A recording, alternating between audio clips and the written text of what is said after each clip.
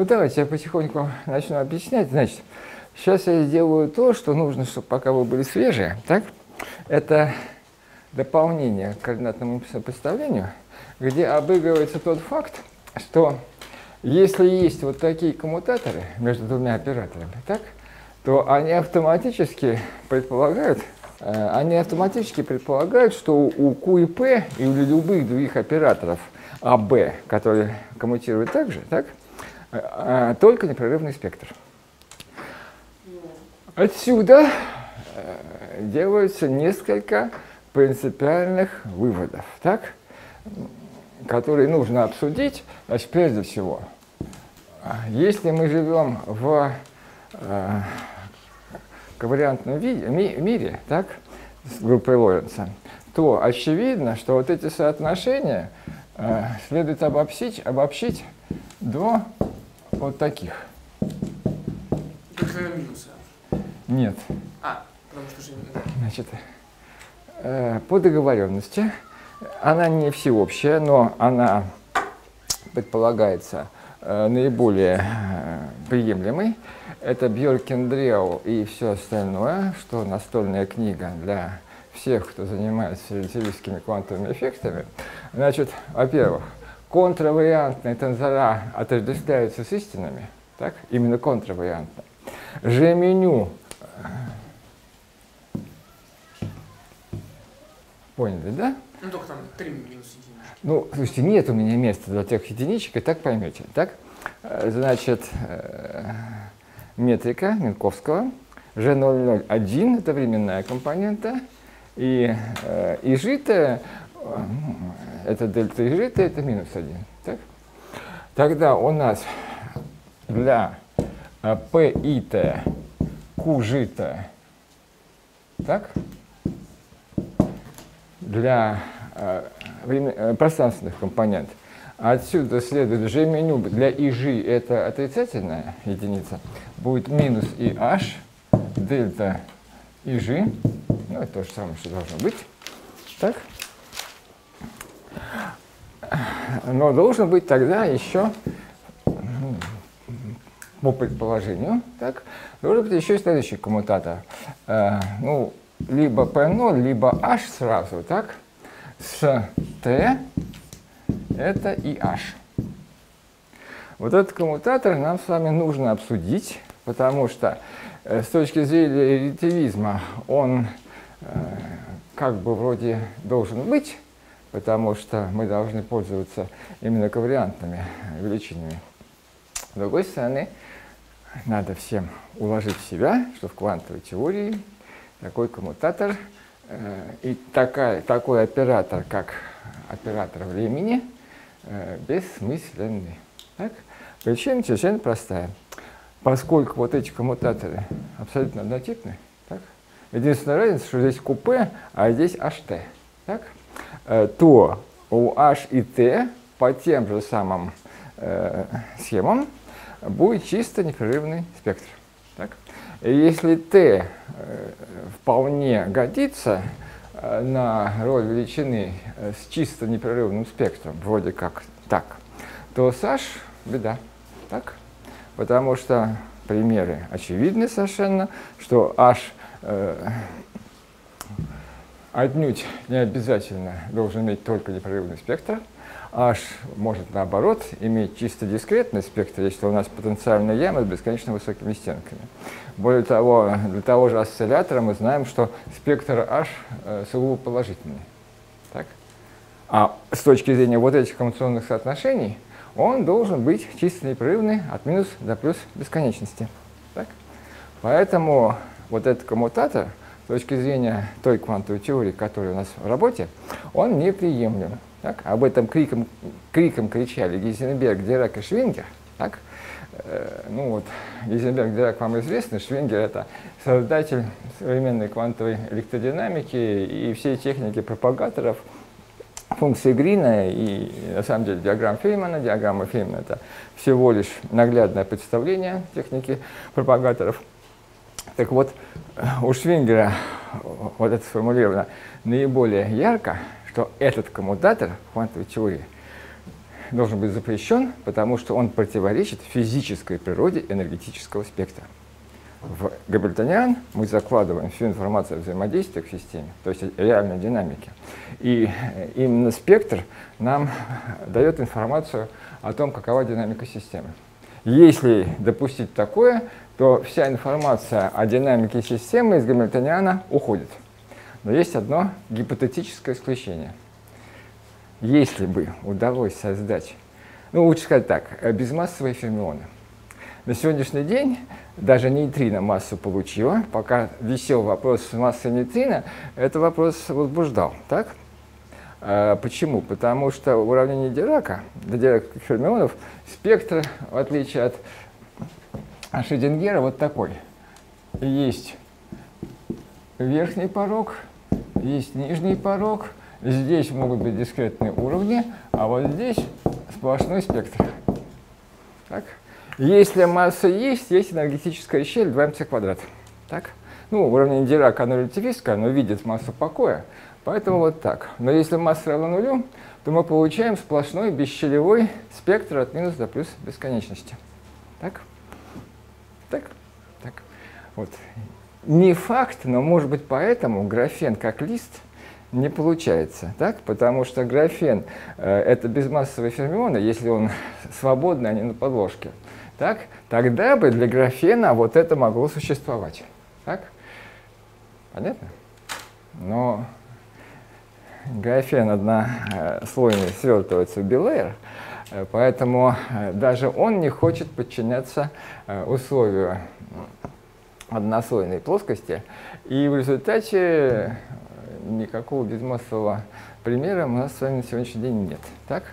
Ну, я не могу сказать, что из существования Т можно сделать какие-то эпохальные выводы, так? но факт заключается в том, что в квантовой теории это вложить себе очень хорошо. Так? Т число, именно число, параметр несущего пространства. Так? У нас все есть функция t, так, канонические функционные соотношения устанавливаются при фиксированном времени. Так? А, но t при этом это именно число, а не оператор. Так? Второе упражнение на эту же тему. На всякий случай лучше, чтобы его вы знали, а не знаю, хотя у нас время места хватит. Это насчет фазы осциллятора. Если бы фаза осциллятора существовала, так, то ее следовало бы ввести следующим образом. У нас Q для осциллятора это А косинус омега Т плюс фи. Так. P А синус омега Т плюс фи. Это имитирует движение частиц по окружности. Так? И тогда А, так, это у нас с вами, э, ну, я не пишу ничего, э, Q плюс ИП, так? Это был бы косинус плюс ИФИ, то есть А в степени Е и Фи, так? А окрест был бы А в степени минус ИФИ. Поэтому с точки зрения логики э, введения фазы, нам надо было бы написать вот так – а это ро е в степени и фи, а крест это е минус и фи ро, где ро это корень из а крест а. А у нас э, еще омега тоже должно быть? Или мы ее... Ну, в данном случае я ввожу только фазу. Угу. Омега Т здесь написано, чтобы сымитировать движение по окружности. Угу. Нам важна фаза, и важно, что есть косинус и синус, и фаза соберется в Е и Фи. Угу. Так, значит, РО – это корень из числа окрес, из числа э, осцилляторных квантов. Э, в данном случае здесь все легко проверить, потому что, значит, во-первых, вот этот оператор прекрасно определен. Ро – это сумма по n где n это осцилляторное состояние, корень из n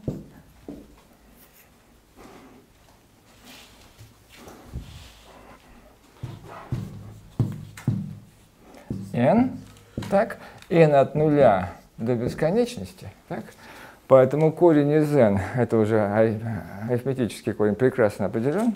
И с точки зрения определения корня, здесь у нас все прекрасно. Такой корень можно определить через спектральное разложение. В общем случае, если есть точка ветвления, то корень уже так просто определить нельзя. Поэтому корень из оператора – вещь, которая всегда требует разборки, но у нас все прекрасно. Дальше записываем конституционные соотношения. АА крест минус А крест А. Это у нас с вами АА крест э, ЕФИ сокращается – это будет ро квадрат минус, ну, давайте на строчку перейдем, значит, е минус и фи. А креста? Секунду. е минус и фи, э, ну, давайте ро квадрат, так, е в степени и фи. И это должно быть равно 1. Так, вот, фломастер нормально пишет, кстати. другой стороной, Константин Алексеевич. М? Черной стороной надо стирать. Бывает. Так, значит, переписываем это соотношение уже в терминах ρ квадрат и n. Ну, ρ квадрат давайте обозначим за n, за наш оператор окреста тогда вот это соотношение, если мы э, вот эту экспоненту отправим вот сюда, будет написано так. e и фи n минус n e и фи равно e и фи. Согласны? Ну, то есть у нас фаза стала повышающим. Что-что? Ну, то есть у нас теперь коммутационное соотношение. Совершенно верно. Это означает, что у нас e и фи n должны коммутировать на e степени и φ. Ну, так? Какой будет коммутатор между n и φ? Чтобы выполнялось вот такое соотношение.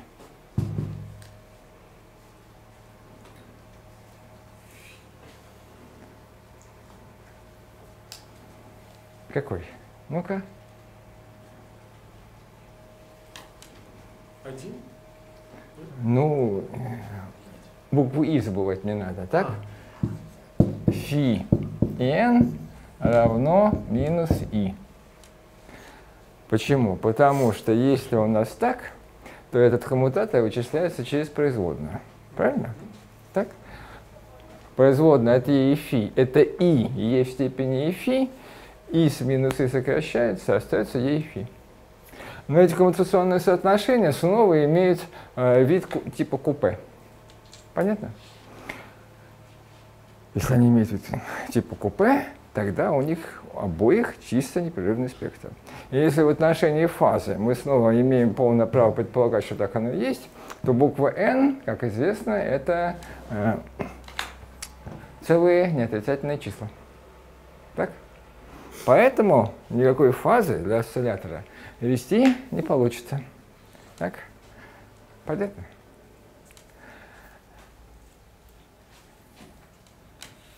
Все ясно.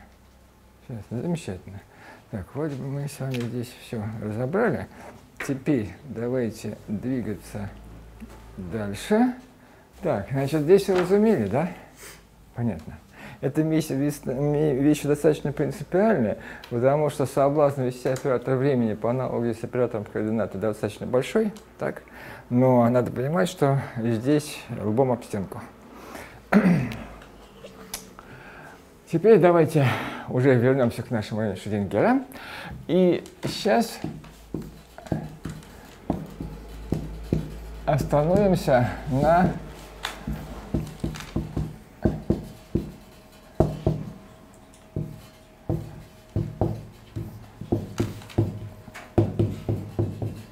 нестационарном варианте на некоторое время. Так, лучше давайте его сейчас сразу разберем, потому что на это придется потом ссылаться. Значит, э, в прошлый раз у нас был эволюционный принцип, так? Э, а вот до этого имеет смысл, и опять же лучше в начале, чем в конце, обсудить два момента. Первый момент, что прямым следствием этого уравнения Шрёдингера является уравнение непрерывности. Так? Значит, берем это уравнение, сопрягаем.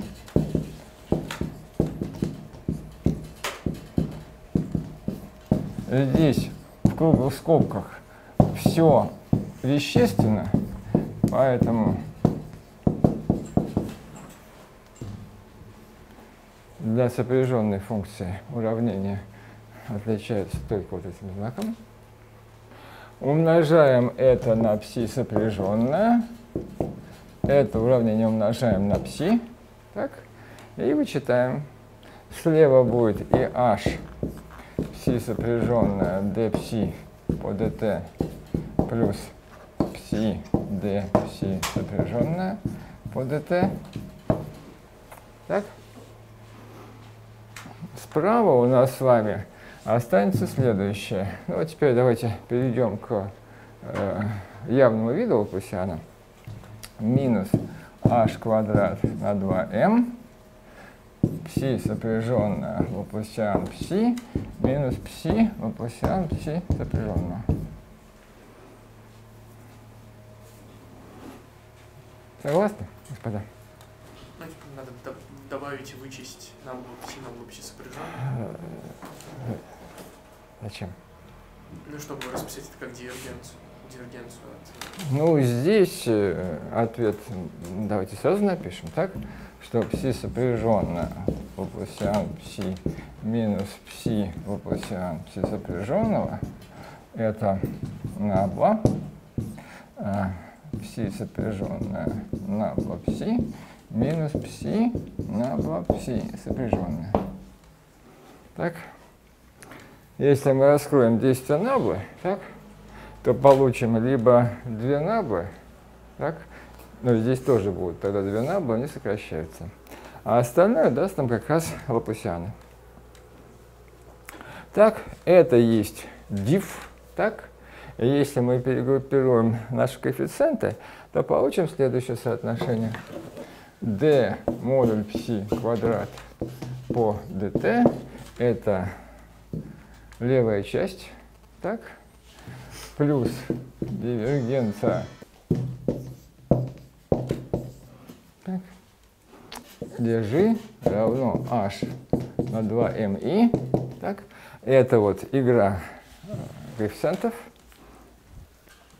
пси сопряженная набла пси минус пси набла пси сопряженная. Это уравнение непрерывности, которое вложено в уравнение Шрёдингера как добавок, так же, как и э, в уравнениях Максвелла, так, э, дополнительное уравнение непрерывности есть на самом деле одно из уравнений системы. Я вам даже показываю специально, что только тогда у нас все э, выкладки замыкаются так, как должны быть, и правильно выделяется поперечная компонента. А, Значит, здесь это так. Единственная оговорка, что при этом v должен быть в нашем случае просто вещественной функцией, если мы работаем в квадратном представлении. А если это в общем виде делать, то должен быть обязательно эрмитовым оператором. Так? Если это не эрмитов оператор, то справа уже будет не ноль. Так? И тогда у нас с вами э, некоторые соотношения сильно поменяются. Как раз вот к ним сейчас давайте перейдем. Значит, это дифференциальная форма. Так? Э, этому соотношению удобно придать интегральную форму. Для этого снова давайте введем некоторый объем омега с границей эпсилон. Так? И это вопрос, какова вероятность обнаружить частицу внутри нашего объема и как она будет мяться со временем. Значит, P омега – это интеграл по омега dr пси от r t квадрат. Так? В общем случае это функция времени.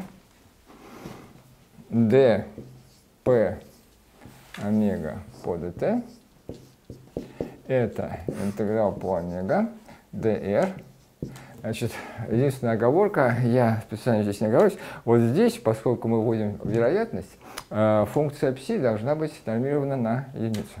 Так? Ну, это уже все и так понимают. Значит, вводим производную.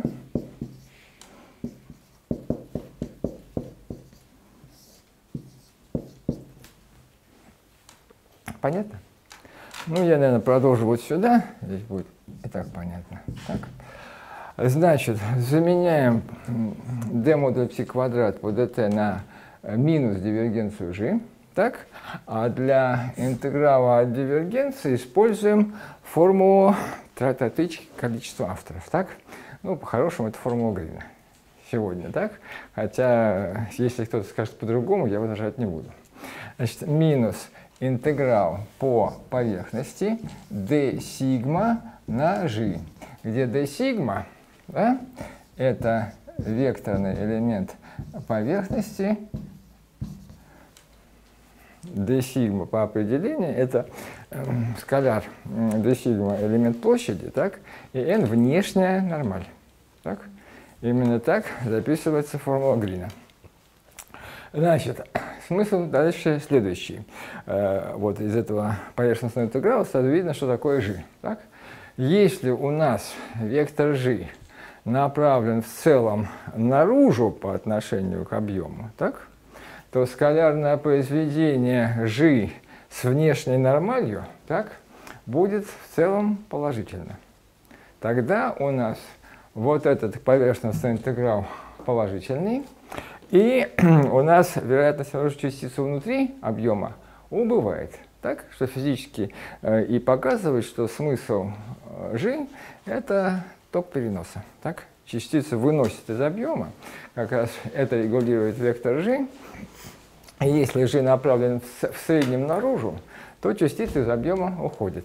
Если же наоборот, G направлена в целом внутрь, так, то скалярное произведение n на g будет отрицательно. Значит, тогда у нас будет два знака минус, так, в результате знак плюс, и вероятность обнаружить частицу внутри будет увеличиваться. Частицу вносят в объем за счет того, что g имеет другое направление. Поэтому смысл g очень прозрачный, это ток переноса. Так? Для дискретных уровней на бесконечности никакого переноса нету, поэтому там все бывает потому, что модуль пси квадрата бывает. Так?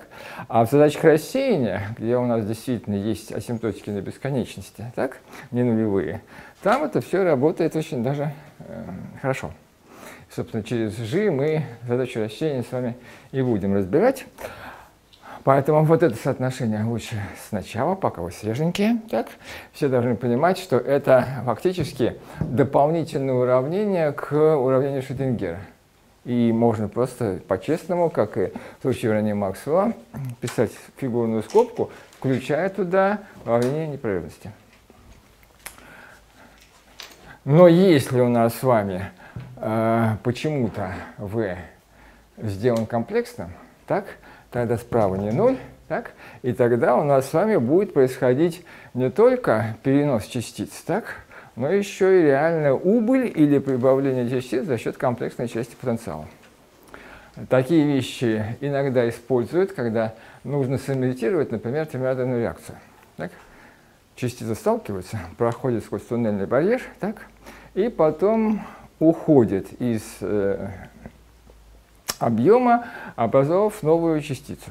Ну, например, d плюс d, так, это либо t плюс p, либо гелий 3 плюс n, так, входящие частицы, так, исчезли. Вероятность обнаружения их изменилась, так, за счет того, что у нас с вами идет реакция, и эту реакцию в ряде случаев действительно удобно имитировать с помощью комплексной части потенциала.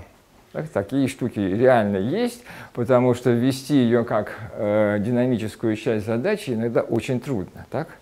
Во-первых, это совершенно другой тип взаимодействия, сильное взаимодействие. А если рассматривается кулонская часть задачи э, с э, туннелированием сквозь кулонский барьер, то вводить туда дополнительные слагаемые, причем сложные слагаемые, это сильно усложнять задачу, когда это и не требуется.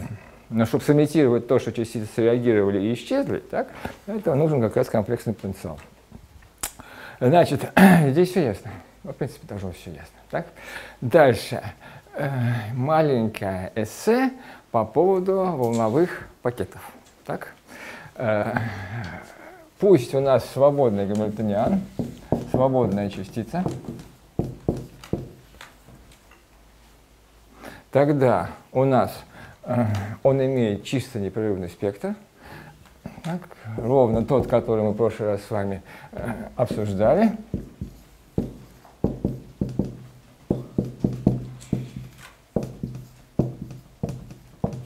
Так, это наши плоские волны. ЕП это P квадрат на 2m. Теперь P это уже собственное значение.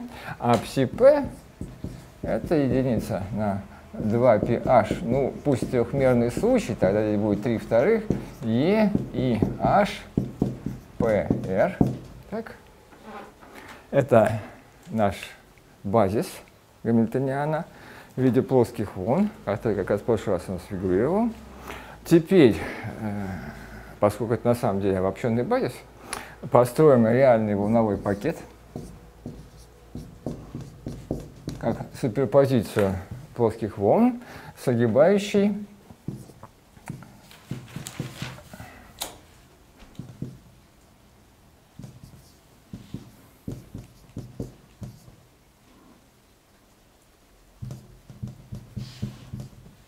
С. Так? Значит, огибающая пакета у нас должна быть нормирована на единицу, чтобы это был настоящий пакет.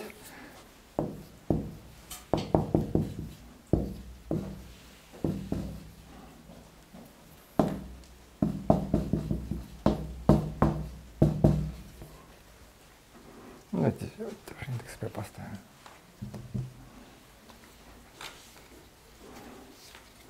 Понятно? Там тоже ЦБ подписать? М? Не, нет, там имелся в виду и Я- они. Я не туда А, P всадил. Ее надо вот сюда садить. Так? Ну, на всякий случай, чтобы было понятно современное интегрирование какая. Так, значит, вот это уже нормальное, нормированное состояние. Так, пси. Так, пси равно единице любого t. Так? Значит, эволюция во времени э, такого пакета тривиальна. Ну, давайте ее напишем, чтобы она у нас была в явном виде. Значит, psi от rt. Этот пакет мы создали, э, вот здесь давайте напишем, psi от нуля все-таки. Так. Это e минус i на h, ht на psi от r 0. Так. Это есть интегр... Нет? Что-что? Не, не, нет, это же. А, да, ну. Значит, смотрите. Миш, вот этот пакет мы создаем в начальный момент времени. Да. Гладкий, хорошо э, себя ведущий, так? Значит, теперь отпускаем динамику во времени. Э, Здесь появится тогда у нас E минус I на H, T, это э, экспонент, оператор эволюции действует на свои собственные функции, так? и дает нам фазы. Пси P от R по-прежнему умножить на c от ep.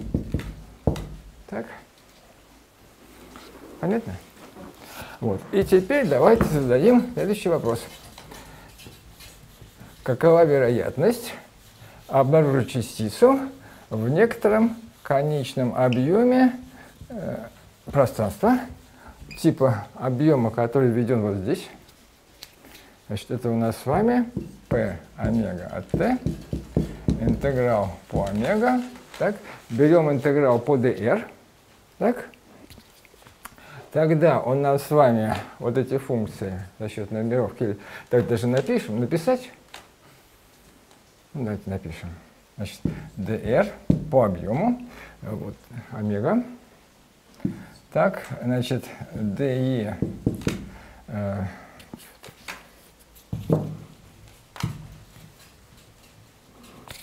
двойной интеграл. DEP DEP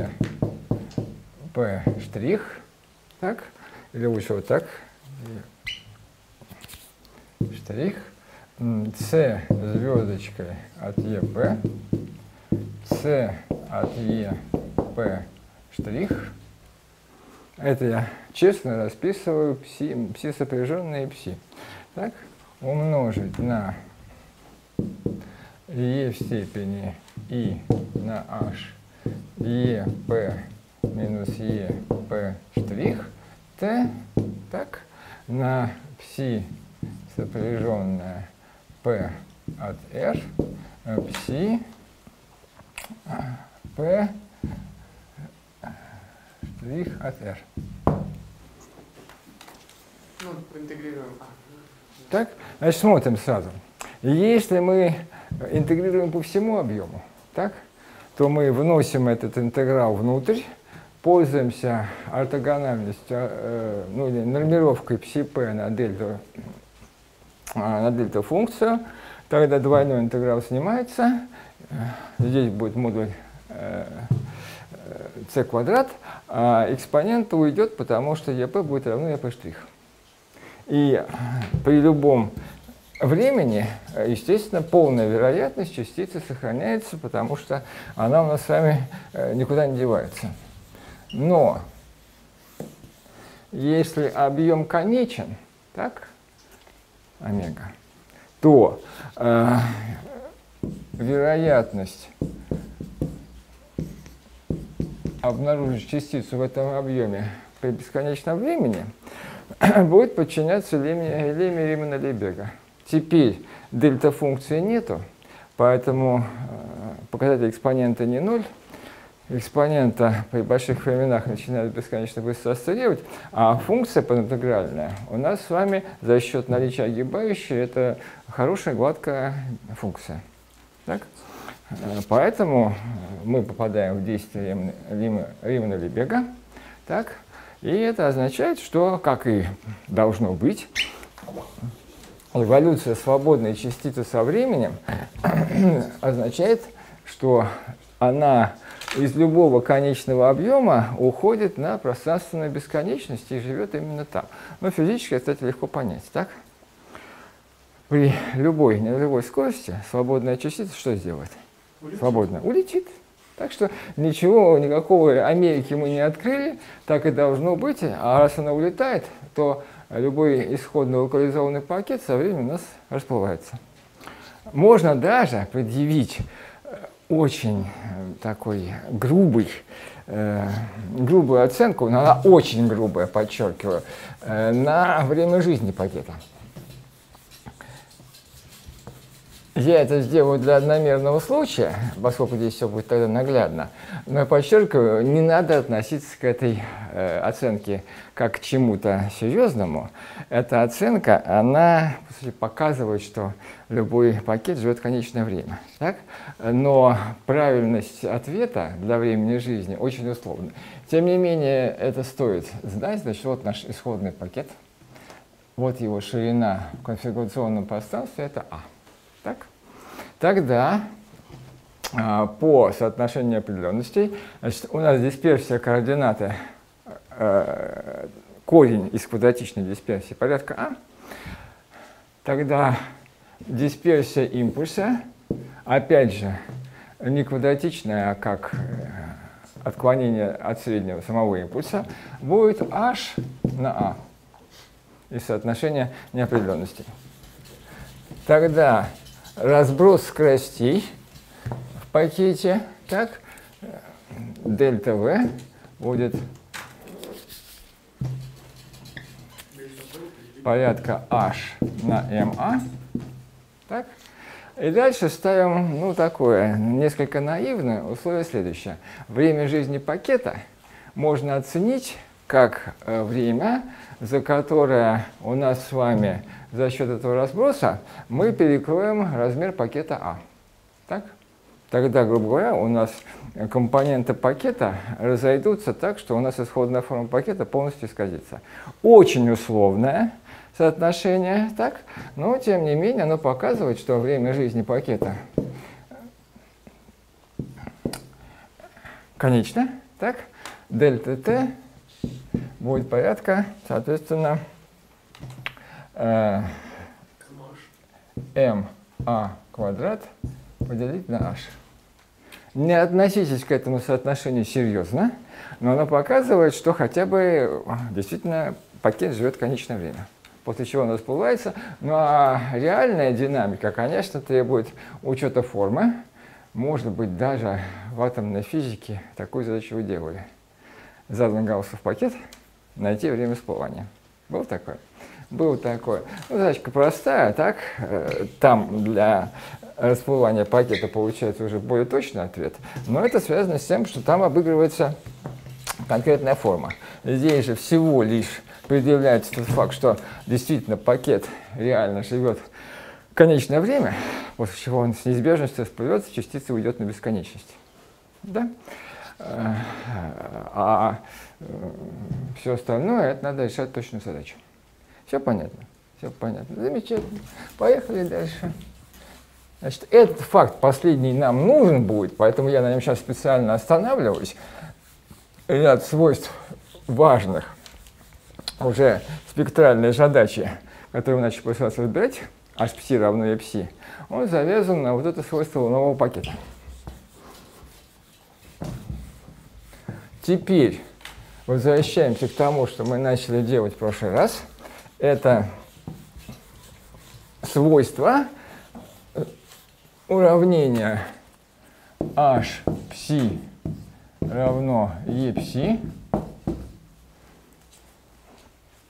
Значит, в прошлый раз мы разобрали, э, насколько я понимаю, вариационный принцип.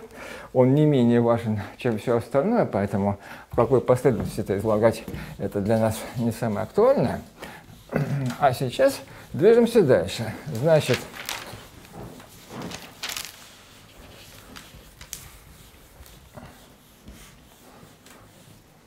Гамильтониан у нас с вами.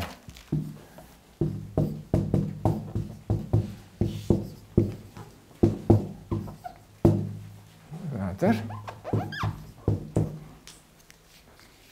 Следующее свойство – это то, что, в отличие от Дирака, сразу оговорюсь, э, спектр э, задачи Шрёдингера, он всегда ограничен снизу. Ограничен снизу он минимальным значением потенциала, э, и это делать все очень просто. Вычисляем среднее. Сейчас напишу. Пси. H. Пси. Так. Это то, что у нас с вами энергетический функционал обзывался. И сразу видим, что это будет среднее от кинетической энергии. Так? Буква Т, ну это еще, наверное, из механики. Вам известно, что буква Т чаще всего обозначает кинетическую часть. Так? Плюс В, пси. Я так компактифицирую запись, потому что она всем понятна. Так? Ну и дальше все видно. Значит, оператор кинетической энергии не отрицательный, поэтому здесь у нас автоматически соотношение что-то больше равно нулю. Так? Э, тогда оценка на энергию у нас будет что-то больше либо равно э, интегралу по э, v от r модуль пси квадрат – так? А дальше используем известную вам, надеюсь, не забытую еще теорему о среднем. Так? Это больше либо равно, чем э, v минимально на интеграл по dr модуль пси квадрат. Так? Последний есть единица. Так? Поэтому оценка снизу на уровне энергии в Шрёдингере э, достаточно прозрачная, что ниже дна ямы мы опуститься не можем.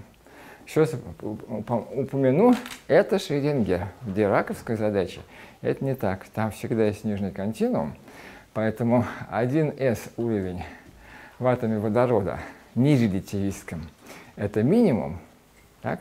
а в релятивистском так, это всего лишь точка перегиба, так? потому что здесь куда падать дальше. До нижнего континуума и поехали. Другое дело, что нижний континуум по правильному обращению э, э, переводится на язык античастиц, то бишь позитронов, но с точки зрения формально самого Гамильтона Дирака это именно так.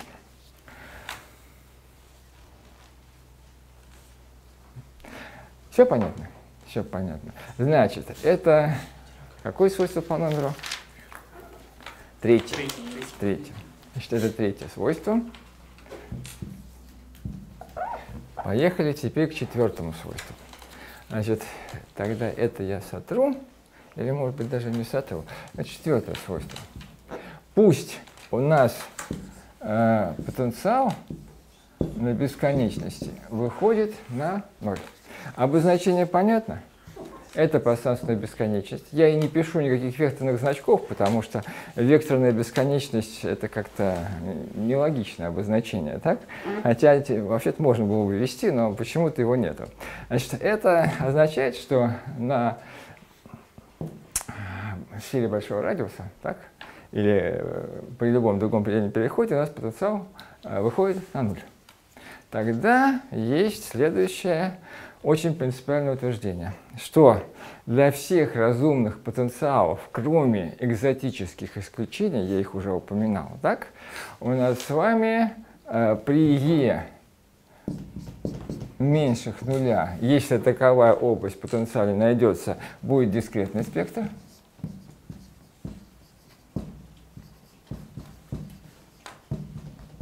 Так?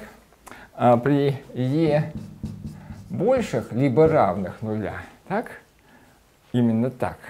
Энергия равная нулю – это уже непрерывный спектр. Непрерывный спектр. Это не точное утверждение, так? Это не всегда, но это достаточно часто э, встречающийся случай, когда у нас с вами в потенциалах нет экзотического поведения. Значит, доказательство очень простое. Если мы имеем дело с состояниями непрерывного спектра, так, то мы имеем дело с волновыми пакетами. Волновые пакеты всегда расплываются, вот только что мы с вами это обсудили и проверили, что это именно так. так здесь уже ни у кого сомнений нет. Э, Волновые пакеты расплываются, частица уходит на бесконечность. Когда частица уходит на бесконечность, она квази-свободная. Потенциал равен нулю. Так? А Если потенциал равен нулю, то энергия у нее обязательно положительная. Можно сделать сколь угодно узкий пакет, так, с центра в точке Е0 в импульсном пространстве. Так? Ну, чтобы он был квадратичный. Квадратично интегрируем. Э, Отпустить его, он расплывется, так? И тогда у вас Е0 должна быть обязательно э, положительна. Понятно? А если у нас с вами э, в потенциале есть область ямы, то тогда у нас возникают дискретные уровни. Дискретные уровни лежат обязательно при энергии меньше нуля, потому что если энергии больше нуля, то это пакет, и мы расплываемся. Понятно? Значит, следующее свойство. Значит, э, только оговорюсь, вот эта теорема, которая доказывается вот такими движениями, вот так вот, да, э, с расплыванием пакета, э, но это не строгая теорема. Есть примеры потенциалов, которые на бесконечности зануляются, так, но обладают уни- уникальными свойствами. Это пример э, фон Неймана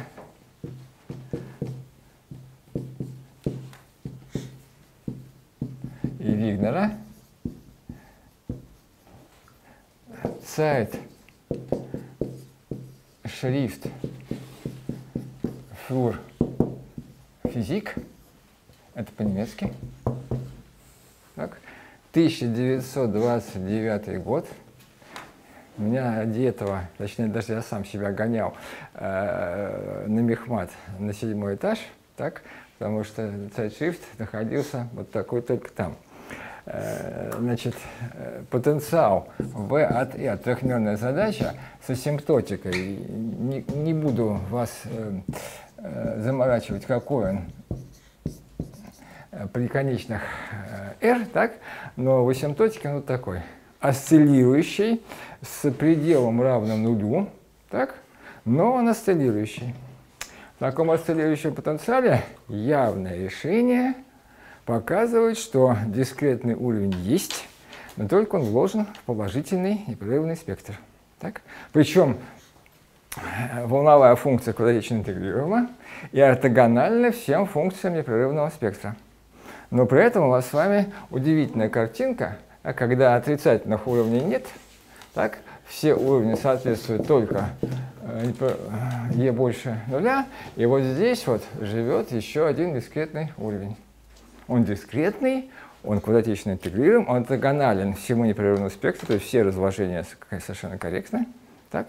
Но вот такая экзотика, естественно, что и не только такая. Это просто явный пример. Эти две фамилии вызывают большое уважение. Это очень соображающие ребята, не то слово.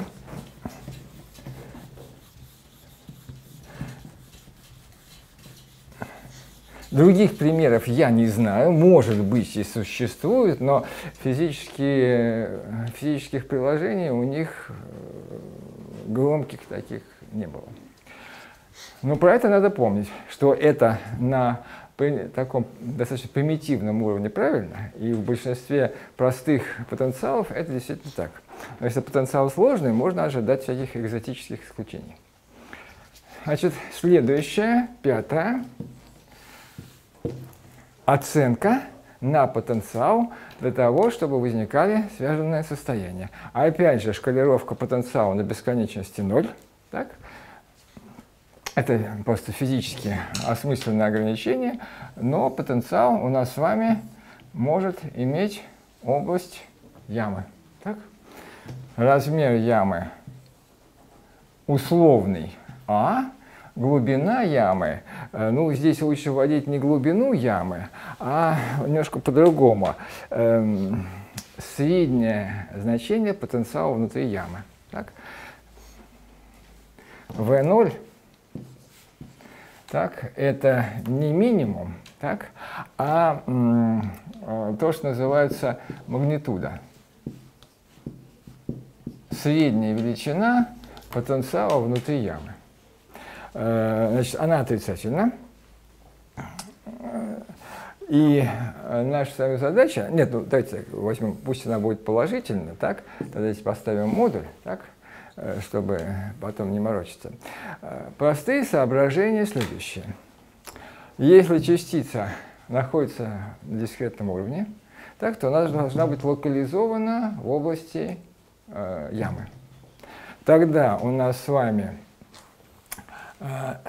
средняя энергия, вот наш функционал, так, оценивается как э, h квадрат на 2m a квадрат э, через оценку импульса h поделить на a, так, плюс средний потенциал. Для такой картинки, так, э, средний потенциал это как раз будет минус V0. Так? Вот ровно так же, как здесь. Так? Только мы выносим здесь, э, здесь мы оценивали, именно оценивали сверху минимальным значением, так? А здесь мы оцениваем по порядку величины, и тогда получаем, что это будет просто минус V0.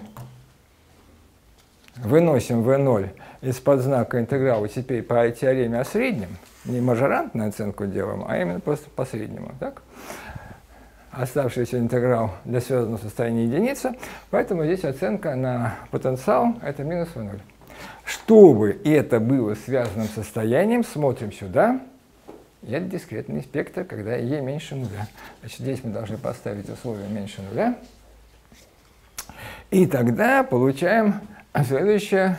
Очень часто встречающиеся в реальных ситуациях. Условия на связь между глубиной и шириной ямы. 2 m v0 а квадрат на h квадрат больше, ну это так, вот так вот напишу, чтобы понятно было, что это оценочное соотношение, а не точное, так? Для большинства почти полного трехмерных ям и э, стандартных э, двумерных это условие выполняется. Так? В трехмерном случае огранич... исключений вот таких ярких э, неизвестно, хотя это оценка, так? поэтому нет стопроцентной гарантии, что она абсолютно верна как теорема. Так? Но у нее есть экзотические, ну даже не экзотические, а уже важные с точки зрения приложения исключения. Прежде всего, это одномерная яма с равно высокими стенками. Двумерная яма с равно высокими стенками тоже туда попадает. Но поскольку с плоскостями у нас плохо, в отличие от одномерных задач или квазиодномерных систем, то давайте ограничимся только случаем одномерной ямы. Я его разберу специально. А в трехмерном случае, как ни странно, это условие выполняется очень хорошо. Ни одного значимого примера ловушки так, с э, глубиной и шириной, не удовлетворяющих этому условию, пока э, в общем, человечеству неизвестно. Хотя, еще раз подчеркиваю, это оценка, которая не обязательно должна быть строго легитимна. Шестое свойство – это тот факт, что в квантовой механике есть эффект туннелирования. Значит, Следующее свойство, оно принципиально важно, сейчас все чуть-чуть отдохнули, это наличие туннелирования. Что такое? какую сторону? Да ладно. Вот в этом. Вот в эту, правильную. Так? Значит, в классической физике у нас с вами есть очевидное утверждение, что если есть эм,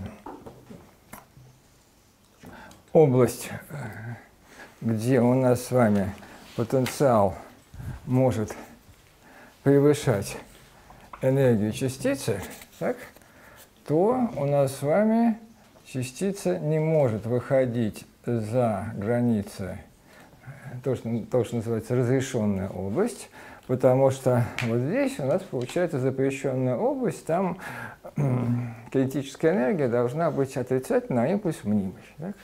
В классической механике это недопустимо, поэтому классической механике у нас всегда в таком случае есть точки поворота. В квантовом случае это не так. В квантовом случае, это прекрасно знаете, что частица может проходить в запрещенную область, так? при этом модуль пси квадрат с э, удалением частицы э, в запрещенную область внутрь будет обязательно убывать и сюда, и сюда. Если мы э, углубляемся в запрещенную область. Но на конечных расстояниях от точки поворота внутри запрещенной области волновая функция не ноль, и это тоже называется эффект туннелирования. Вот эта частица в квантовом случае может проходить сквозь барьеры, так? Что в классическом случае она сделать никогда не сможет, она обязательно отразится с единичной вероятностью. Единственное, что здесь надо оговорить, то, что, к сожалению, не во всех э, вот, основных монографиях эта тема комментируется правильными словами. В том же Ландау, хотя один из самых грамотных учебников именно по Шедингера, я не собираюсь считать, что это э, все, что нужно, но как Шаденгеровская э, книга, она очень подходит. Так вот, там объясни, сделана попытка объяснить туннелирование следующим образом. Так, ушли сюда, так, локализовались вот здесь, тогда у нас кинетическая энергия всего соотношения неопределенности не определена, и тогда она может быть отрицательна. Так? Ну и этим самым объясняется, почему возможно туннелирование. Ну, это очень небрежное объяснение, скорее всего, Лишиц не понял, что э, имел в виду Лев Давидович, так? потому что, вот вам простейший пример. Осцилляторная яма, теперь именно как яма, э, где движется частица, э, потенциал V от x, m омега квадрат пополам x квадрат, ну пусть это все одномерное. Вот уровень, ну пусть это уровень h омега пополам. Так, нижний уровень. Волновая функция это Гаусс. Кстати, всех просил напомнить. А на ноль равно нулю. Вот сейчас бы его решить, причем я судорожно вспоминал, что же еще надо было вначале-то сказать, так? Никто не напомнил. Так вот, смотрите, значит, у нас сам уровень h омега пополам вот здесь, вот гаусс – это волновая функция. Точки поворота классические вот здесь. Что? Э, Сначала не поняли, что, что имелось в виду под А на равно нулю, теперь понятно стало. Ну, я же все время, я анонсировал давно, что как только у нас будет координатное представление, я вам предъявлю точный ответ в задаче от нуля равно нулю. Я, причем я вчера помнил, что три пункта надо говорить сразу. Ну вот, слишком много сразу упомнить сложно. Значит, смысл простой. Так? Точки поворота. Классическая задача. А, У нас с вами осцилляция частицы от одной точки поворота до другой. За потенциал мы не заходим. Вот это у нас состояние, соответствующее точной эне- энергии омега пополам, точный, никаких флуктуаций нет. Тем не менее, вот, пожалуйста, вам эффект аннулирования сюда и сюда.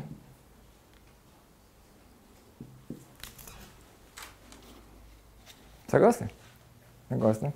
Поэтому все происходит при фиксированной энергии. Так? Поэтому апелляция к тому, что у нас энергия становится неопределенной, когда мы локализуемся здесь, ну, это не та, не та аргументация, которая здесь э, максимально удачна. Э, Здесь надо, опять же, делать усилия над собой и понимать, что оно есть с точки зрения решения уравнения Шрёдингера. И все. Так? Классического аналога нет? Нет. Так? Как это именно происходит, мы с вами понять не можем, потому что мы живем в классическом мире, а это квантовые объекты со своими правилами игры, но сам факт тоннелирования отрицать нельзя, и вот оно есть, и все. Пытаться ему приписать какие-то вот полуклассические соображения, это снова уходить в э, то же самое, что делал Эйнштейн, так? когда соотношение неопределенности берется из квантовых э, соображений, а закон сохранения из классических. Ну и тут же мы попадаем туда, где, э, э, в общем, никакой логики в результате нету. Ясно? Дальше движемся. Очень важное свойство номер семь.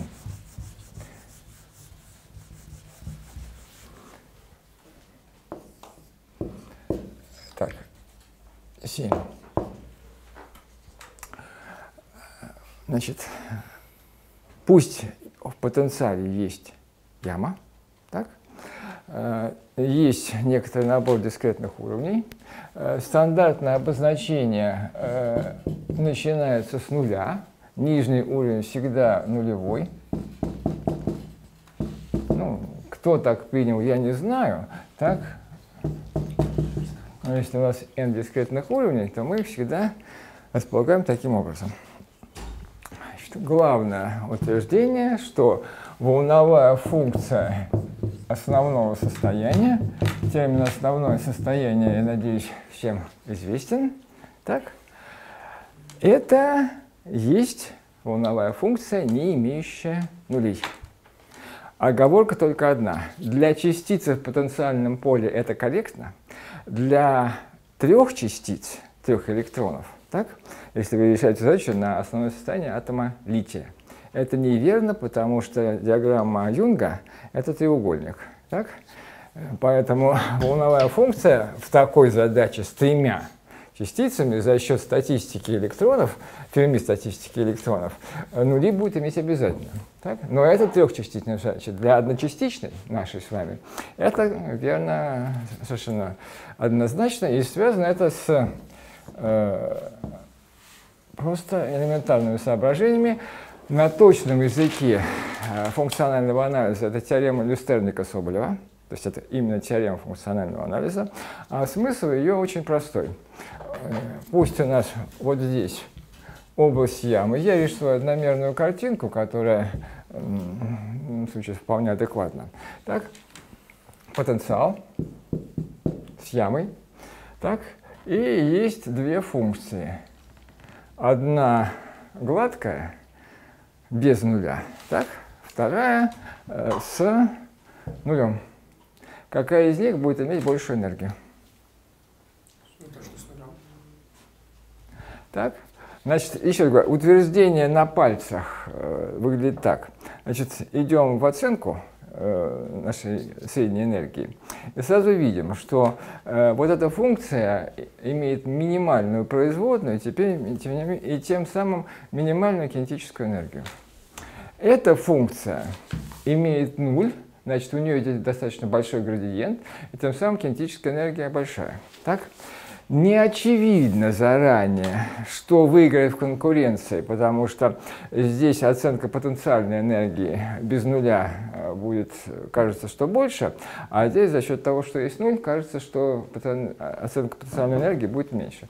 Вот на это нужна теорема Листерника-Субыва, которая говорит, что э, выигрывает всегда волновая функция без нулей. Так?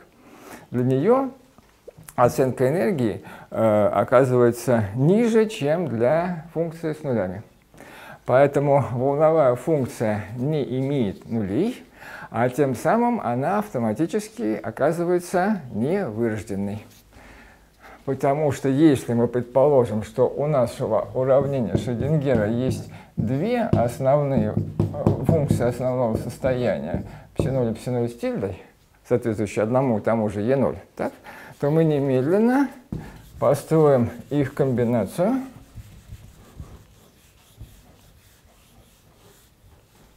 Пси 0 Как бы его обозначить, Тир? Ну, с крышечкой не получится. Ну, давайте с крышечкой. Э, пси 0 плюс некоторая константа c на пси 0 тильда, достаточно вот так. Да? Только с тильда, а не с Ну, это... Ну, это тильда. Ну, что потеряете? Спасибо. Так? Так что Э. Вот.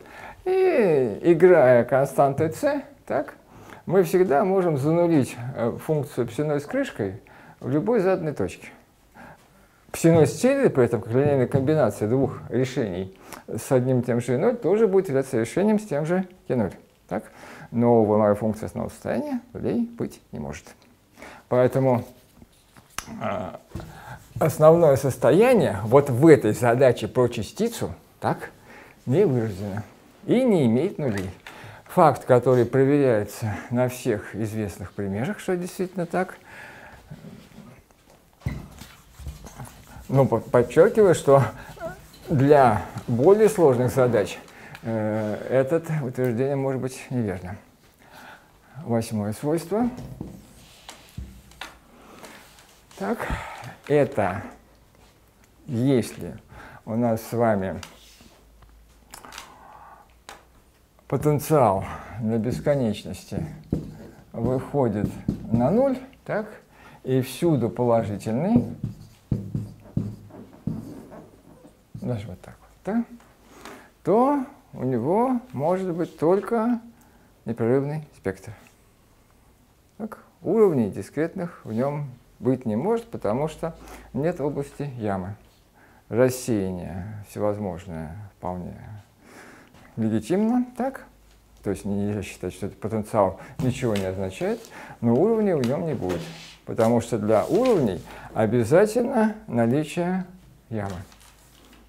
Яма может в одномерном случае быть бесконечно малой по магнитуде и бесконечно узкой по размеру, но связанное состояние хотя бы оно одно даст. Но это должна быть обязательно яма с отрицательным значением потенциала. Если потенциал всюду положительный, как, например, задача колонского отталкивания, так, то ничего, кроме рассеяния, у нас с вами э, не будет.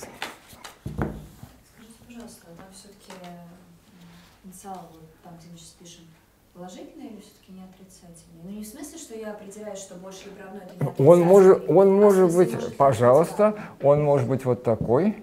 э, Вот как на бесконечности. Значит, он может себя вести вот так. И уходить прям в ноль, то есть не стремить, а именно прям. Вот здесь могут быть метастабильные состояния. Так, пожалуйста.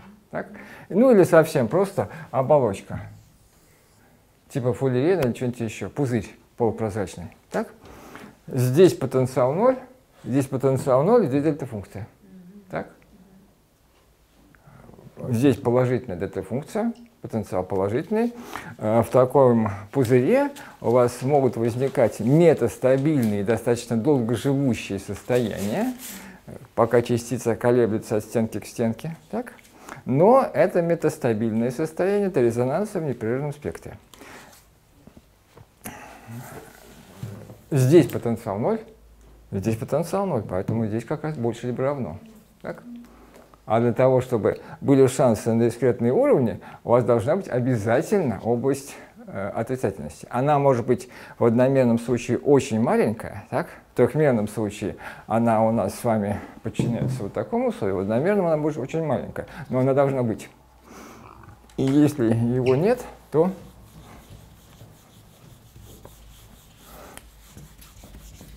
А у нас все-таки мы сейчас свойства волновой функции или волнового пакета? Где? Ну вот мы рассматриваем сейчас. Мы рассматриваем все, так? Мы пакет рассматриваем, это непрерывный спектр. И дискретные уровни, это вот, вот они, так? Дискретные уровни могут возникать, а их может и не быть, так? Непрерывный спектр э, тоже может быть, может не быть. Если у вас потенциал бесконечно высокими стенками, то это запирающая яма, и там только дискретные уровни. Непрерывного спектра вообще не будет. Но э, если у вас потенциал шкалирован вот так, то если есть область ямы, то могут в одномерном случае всегда, а в трехмерном только при наличии этого условия, двумерный э, там, ну, он посложнее, так? Ответы есть, опять же, оценочные, э, что уровень при э, одинаковой высоте по окружности э, стенок ямы э, один и тот же, там экспоненциально малый уровень может существовать, но это, в отличие от одномерной задачи, существенно менее чистая оценка.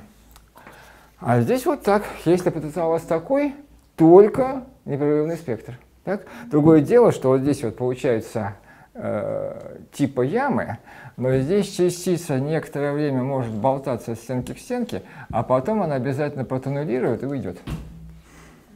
Это вот типичная задача про э, резонансы. Девятое свойство.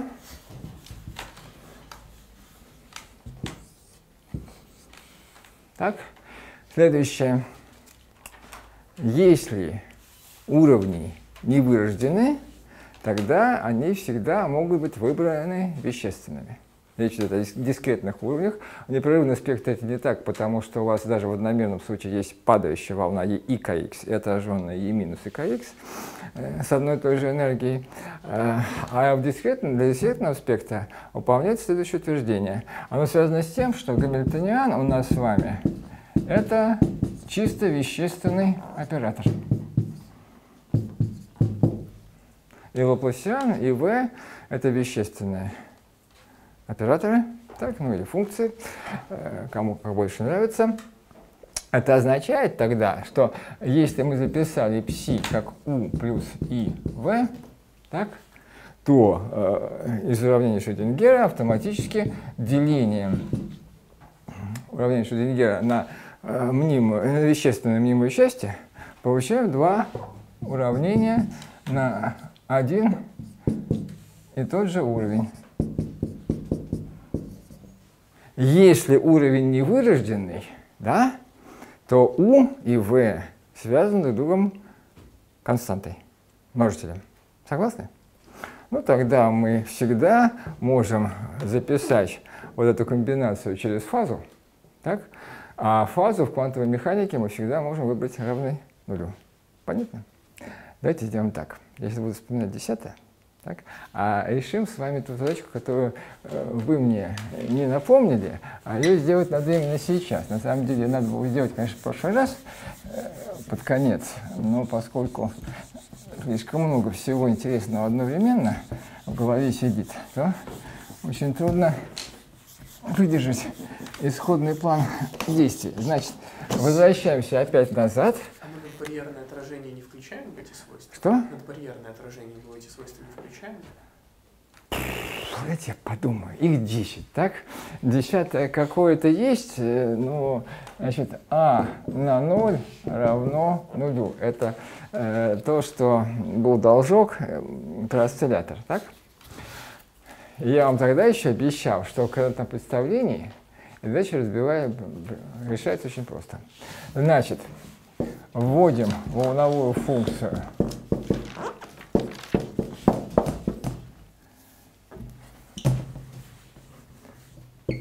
основного состояния в координатном базисе. Так? И вот это уравнение, так, значит, напоминаю, что это одномерный осциллятор, поэтому одна переменная x координатного базиса. Э, вот это уравнение переводим в координатную форму. Значит, а равно q плюс ip на корень из двух. Так, вспоминаем, что такое q и p через малое q и p которые размерные и которые, собственно, участвуют у нас в координатном представлении. Значит, это будет у нас с вами корень из m омега на 2h q, так? Именно так. Исходное q большое вводилось выделением размерности h поделить на m омега, здесь наоборот. А, плюс и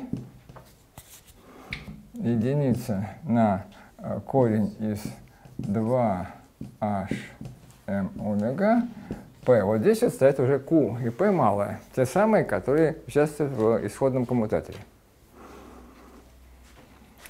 Переводим теперь все наше уравнение по правилам перевода э, операторов q и p в координатное представление.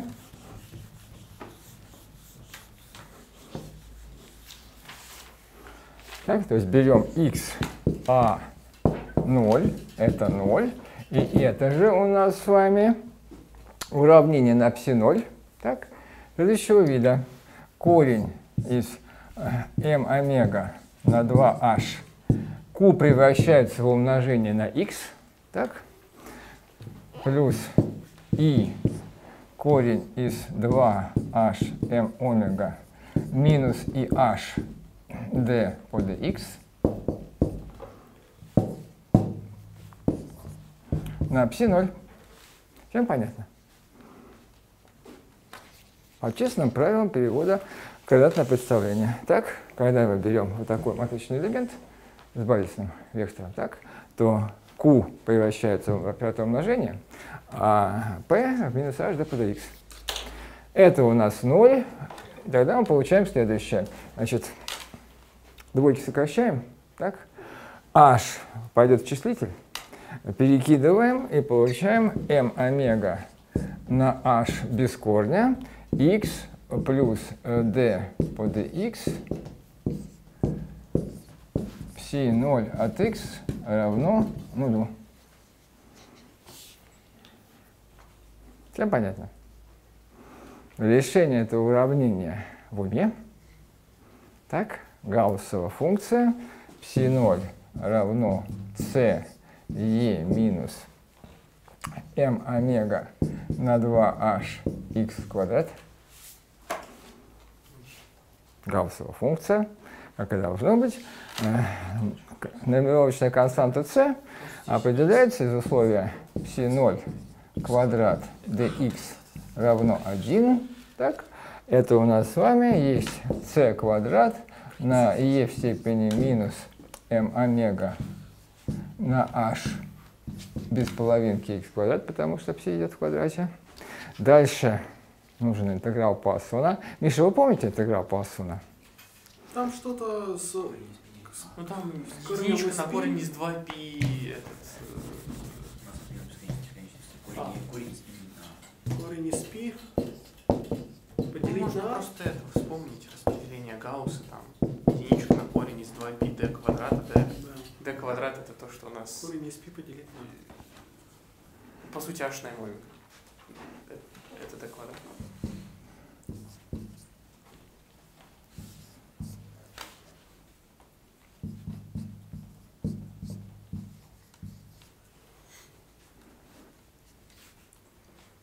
Ну, понятно. Значит, ну я даже здесь не ставлю модуль, по-хорошему надо написать было бы здесь модуль, да, но мы все это уже знаем, что фазу мы не поймаем никогда, поэтому сразу кладем равно нулю. И константа c у нас с вами корень четвертой степени из m омега на 2h, на ph.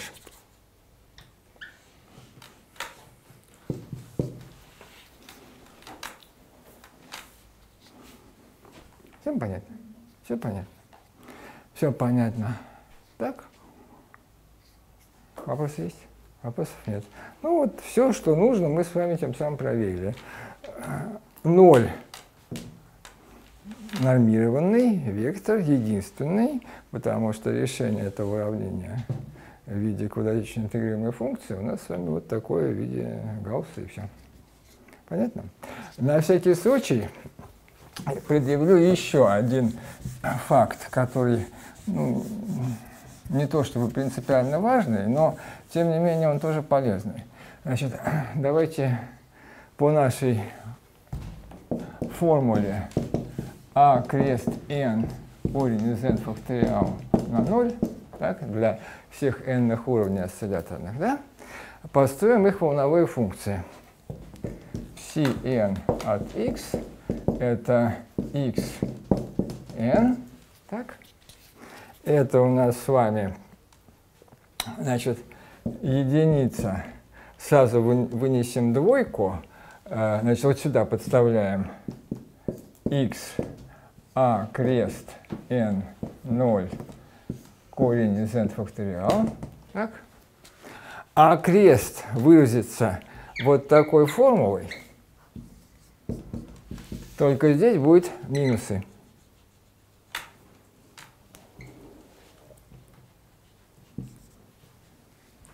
Ясно? Теперь, значит, смотрите, здесь окрест v, вот эту двойку вынесем наружу и напишем так. 2 в n, n факториал под корнем.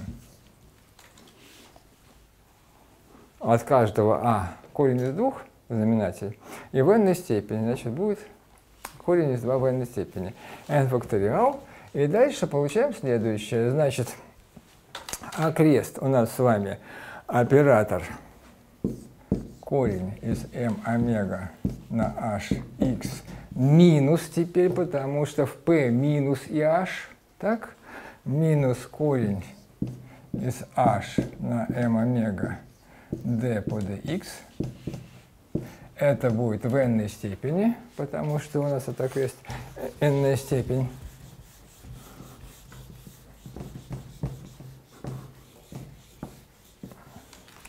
А дальше у нас просто x э, умножается на 0 и дает это все в виде все 0 от x.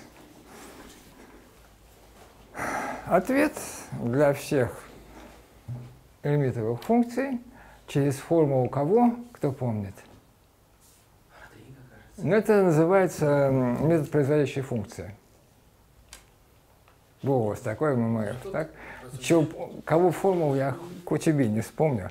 Э, Настя, вы математик.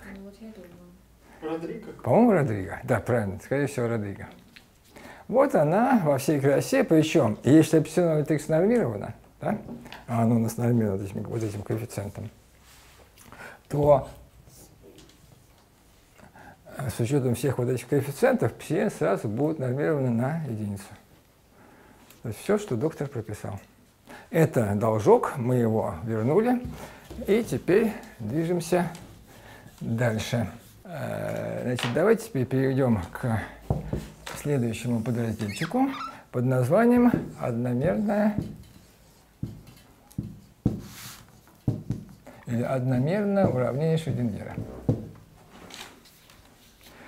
Его имеет прямой смысл разбирать именно отдельно. Так? Потому что одномерные системы, или лучше сказать, квазиодномерные системы у нас с вами действительно есть. Так? Это полимеры, полимерные нитки, так? трансформа, не цис, а транс. Так? Это всевозможные нанотрубки. Так? Они не идеально одномерные, естественно, они квази-одномерные, но в целом ряде важных и практических, и физически интересных э, случаев э, движением в других направлениях можно пренебречь. Это, в принципе, движение частицы, заряженные в сильном однородном магнитном поле. Другое дело, что оно должно быть действительно сильное, так? Таких сильных полей пока, в общем, к сожалению, создать не удается. Но если бы они были, были то тогда действительно можно было реализовать целый ряд физически очень интересных случаев, когда э, тот же электрон ограничивается в движении в плоскости XY и разрешается только движение по оси Z, куда направлено магнитное поле. Другое дело, что область локализации по отношению к напряженности магнитного поля – это логарифм. Так? Логарифм – это, как известно, вообще не функция, а так – так? что-то такое, э, не очень существенное. Поэтому, чтобы логарифм заработал, нужны очень большие напряженности, типа квантовой электродинамической. Тогда это действительно будет реальное сжатие в плоскости XY. Поэтому такой пример сейчас не актуален, потому что такого здесь у нас с вами нет, но все, что есть, говорит о том, что такое должно быть. Значит, одномерная уша – это у нас с вами гамильтониан в виде минус h квадрат на 2m, d2 от x квадрат плюс v от x. Значит, у этого уравнения есть свои специфические свойства, на которых надо обязательно остановиться. Первое – это то, что значит, если дискретный спектр есть, так, то он обязательно невырожденный, а если не вырожден, то волновые функции дискретного спектра всегда можно выбрать вещественные. Здесь у нас h psi n равно en psi n, но все psi n обязательно не вырождены. Доказательство очень простое. Пусть у нас есть две, h psi 1 равно e psi1 и то же самое с индексом 2. E одно и то же. И это дискретный спектр. Так? Тогда перепишем уравнение Шрёдингера э, для одномерного и двумерного случая в таком виде. Пси 2 штриха 1 плюс 2m на h квадрат, так, e минус v пси 1 равно нулю. Так. И, соответственно, пси 2, 2 штриха плюс 2m на h квадрат e минус v пси 2 равно нулю. Значит, никакого сопряжения ставить не нужно теперь, так, потому что заведомо известно, что если они есть, то они обязательно вещественны. Значит, строим комбинацию psi2, psi1, 2 штриха, минус psi1, psi2, 2 штриха. Так. И с правой части сразу видно, что у нас с вами это будет равно нулю. С другой стороны, это у нас d по dx от Вронскиана между psi1 и psi2. Вронскиан – понятие, надеюсь, вам еще, вами еще не забытое. Вронскиан вот именно для уравнения Шрёдингера так, э, имеет следующий вид. Подчеркиваю, Вронскиан – понятие очень общее. Для системы линейных уравнений первого порядка Вронскиан строится по-другому. Так, это матрица, столбцы матрицы – это отдельные фундаментальные решения. Так? В нашем случае Вронскиан э, – это пси-2, да? пси-1 штрих минус пси-1, пси-2 штрих с производными. Потому что уравнение второго порядка. Значит, в нашем случае, если у нас есть две э, функции, соответствующие одному и тому же уровню e, то между ними Вронскиан равен нулю, так? Ну а если он равен нулю, то ну, можно не доказывать. Все помнят. Так? то функция пси1 и пси2 является зависимой. Ну, это делать очень просто. Перепишем это равенство нулю в таком виде. Так, проинтегрируем, получится логарифмы и константа интегрирования. Логарифм psi1 равно логарифм psi2 плюс некоторая константа. Берем экспоненту. Так, psi1 равно psi2 умножить на e в степени нашей константы. Отсюда следует, что psi1 и psi2 обязательно должны быть э, линейно зависимы. И поэтому, на самом деле, у каждого дискретного уровня одномерного линейного Шрёдингера есть э, свойство невыраженности и вещественности автоматически. Следующее свойство, вот оно у нас с вами будет выделено отдельным пунктом, это то, что в одномерном случае любая, сколь угодно узкая, сколь угодно мелкая, совершенно не обязательно симметричная, а бы какая, но потенциальная яма с областью от... Можно вопрос? Вот у нас э, производная Вронскиана была равна нулю, а почему он сам получился равен нулю? А, очень просто. Значит, отсюда следует, раз ноль, то Вронскиан константа. Уходим на бесконечность. Если это дискретный спектр, то волновые функции зануляются. Так? Тогда Вронскиан равен нулю.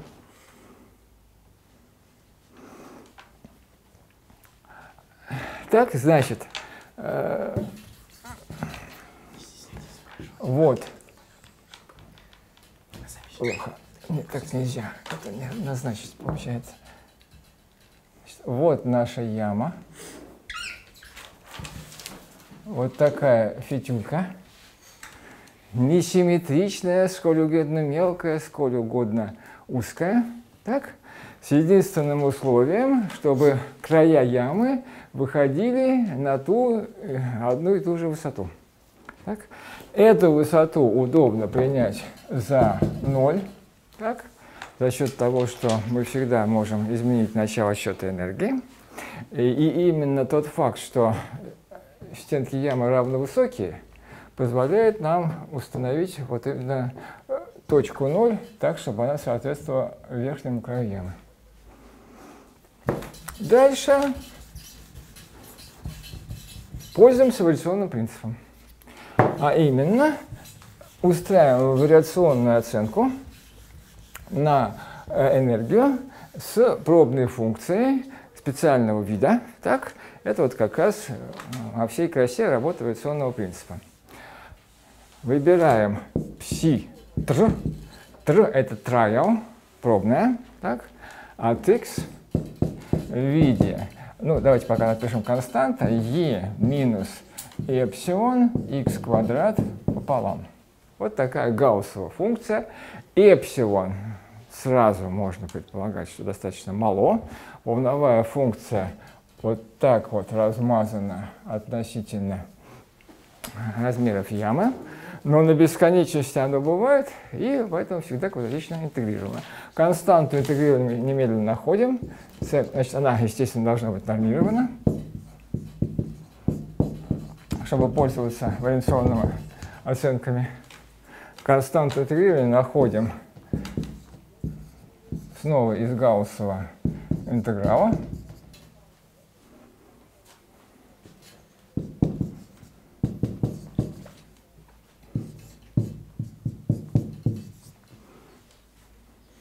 Поэтому c у нас равно корень четвертой степень из эпсилон к π.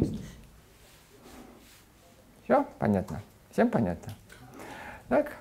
И теперь просто вот так, как нужно работать с вариационными оценками, которые очень в данном случае полезны, так? Э, и эволюционный метод вот здесь уже сразу начинает нам давать э, сеть разумная, добрая, вечная. Значит, Е тр – это Е от пси-тр по определению, так? Энергия нашей пробной функции, так? Пси-тр h пси-тр это у нас с вами будет расписываем в явном виде интеграл по dx. Так. Первый член кинетическая часть. Его удобно написать так. h квадрат на 2m перекинуть производные в разные стороны, чтобы был набор квадрат. Так, значит, здесь будет пси штрих тр квадрат. Пси вещественно, поэтому модулей никаких писать не нужно. Так, а здесь у нас будет просто d по dx. Понятно, Миша? Плюс интеграл v от x э, пси тр квадрат от x dx. Честная вариационная оценка на энергию.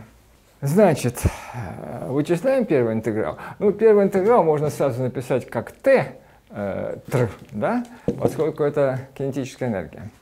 h квадрат на 2m наружу.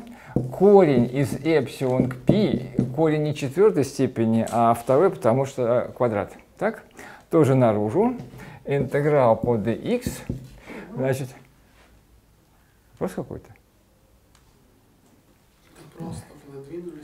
Значит, дифференцируем по x нашу функцию. Так? Будет эпсилон x в виде множителя. Эпсилон x и минус эпсилон x квадрат пополам. И все в квадрате. Ну, эпсилон квадрат Чего? Ну, я делаю достаточно подробно, чтобы, во-первых, самому э, нигде не запутаться. Эпсилон квадрат, э, интеграл по dx минус до плюс бесконечности, x квадрат, e минус эпсилон x квадрат. Значит, вот такие интегралы в нашем с вами случае по частям брать запрещено. Так? Это безгра... Ну-ка. просто неприлично. Так? Как, как надо брать, Володь? Через минус производную по x. Конечно. Вот этот интеграл, это минус d по d эпсилон, так, от Гаусса, то есть от π к эпсилон, так, и тем самым это равно э, корень из π на э, 1 вторая только эпсилон куб. Согласны? Согласны. Раз согласны, то, значит, это мы с вами прямо вот здесь вот запишем. Значит, смотрим. А, Подставляем сюда h квадрат на 4m. Сюда. Значит, дальше. Корень из π сократился. Здесь эпсилон, так? Здесь эпсилон куб, поэтому будет единица на эпсилон. И еще эпсилон квадрат. Оттого эпсилон. Все. Все нормально. Согласны? Оцениваем потенциальный член. И вот здесь вот, вот это место ключевое. Потому что, значит, естественно, эпсилон мы выбираем для мелкой узкой ямы очень маленькая. Тогда в пределах ямы мы можем спокойно наш гаусс считать константой. Так, равной единице, поскольку показатель будет маленький. А, Дальше у нас с вами тем самым а, остается значение функции в нуле. Это будет корень из эпсилон к π. Вот он, да? А, На интеграл d от x, v от x. И вот это на самом деле самое ключевое место, потому что при равно высоких стенках мы выводим потенциал на бесконечности на ноль, имеем полное право выбрать так начало отсчета, чтобы здесь был ноль. Так, тогда этот интеграл у нас конечен. И Если у вас одна из стенок э, не на том уровне, а вот здесь, да, тогда этот интеграл обязательно будет расходиться. И оценка не проходит. Если же э, стенки на одной высоте, вот это условие равновысоких стенок здесь ключевое, то у нас интеграл конечен, отрицателен, потому что мы интегрируем именно по области отрицательности. И тогда мы с вами получаем окончательно для етр, для энергии пробной функции, следующий ответ. h квадрат на 4m эпсилон минус э, корень из эпсилон к π на, ну вот пусть во среднее. Так? Минус, потому что у нас этот интеграл обязательно отрицательный. Значит, наше условие дальше обыгрывается так. Значит, ну я рисую просто картинку потенциальную, так? Значит, вариационный минимум, так? Э, точный, это наш уровень основного состояния Е0. Он минимум. Он отрицательный, вот здесь у нас Е равный нулю, так, здесь больше уровня нет. Мы с вами через точные уравнения Шрёдингера э, ищем именно Е0. И он соответствует минимуму э, эволюционного функционала. Мы с вами выбираем некоторое пробное етр, пситр, так, для которого етр заведомо меньше нуля, потому что, обыгрывая э, вот эту величину, сразу ясно, что мы всегда можем подобрать такое малое эпсилон, чтобы эта величина была меньше нуля. Так? Эпсилон мало, и эпсилон всегда будет много меньше, чем корень из эпсилона. Поэтому здесь меньше нуля, и мы с вами оказываемся вот здесь. Так? Минимум точный обязательно лежит ниже потому что он абсолютный минимум эволюционного функционала. Мы с вами показали, что у нас есть пробная функция, при которой значение эволюционного функционала меньше нуля, значит минимум точный лежит еще ниже. А если он лежит еще ниже, значит он лежит при отрицательных энергиях, значит это э, основное состояние, с, которое существует и дает нам отрицательное значение Е0. Понятно? Поэтому в одномерной яме, неважно какой, лишь бы стенки выходили на одну и ту же высоту, так у нас всегда будет существовать, по крайней мере, одно э, связанное состояние, причем область локализации его, если яма мелкая и узкая, так э, значительно больше, чем размер ямы, и именно вот это последнее свойство – оно не проходит с точки зрения той оценки 2m v0 а квадрат плюс наш квадрат больше либо равно единице. Потому что там молчаливо предполагалось, что связанное состояние локализовано в области ямы. Так? И именно оттуда была для импульса оценка порядка h на a, так? и возникало вот это дополнительное соотношение на глубину и высоту. Здесь за счет малости эпсилон волновая функция делокализована относительно размеров ямы на совершенно другой масштаб, так? но тем не менее это будет связано состояние, и любая одномерная яма так, в одномерных задачах может работать как ловушка. Пример выше крыши, так? Если допировать полимеры нитевидные с помощью примесей, так?